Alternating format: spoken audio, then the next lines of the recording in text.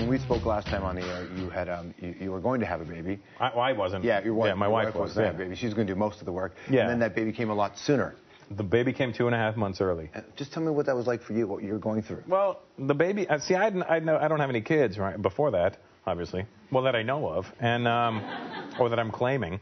Uh, so the baby came early, and uh, it was because my wife had developed a uh, a condition when you're pregnant called preeclampsia. So your blood pressure goes through the roof, and you could either have a stroke and die, or and the baby will die, or they got to just make you. They got to get the baby out of you. Mm-hmm. And the baby came out, and she was only one pound ten ounces.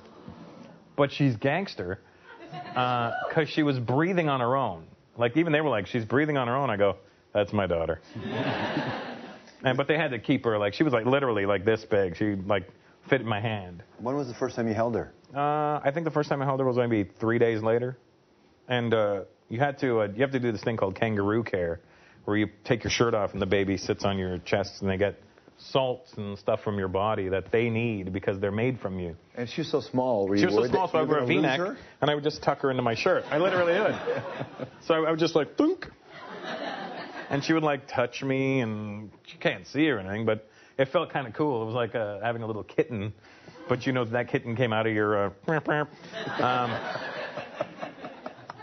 How did, but when you held, how did that feel? I mean, your, your well, first the first time, you know, I started crying. I was like a little girl, you know. First time I saw her on the um, on the screen when we did the ultrasound, I was started crying, and it was more because, oh my God, it's real. She's not lying, you know. To that point, you weren't sure. Yeah, I was right? like, I don't know. You don't look pregnant to me. And so, as she's gotten healthier and stronger, how's your relationship with being a father changed? Well, now you know the baby's amazing. She's she honestly is like the happiest baby you've ever seen. She doesn't even cry. Even when she cries, she doesn't cry. She's never like ah. She's like eh. and it's almost like she's too lazy to cry, which I really dig. I'm like, I love this lazy child. I'm hungry. you gonna cry? Uh, too much work.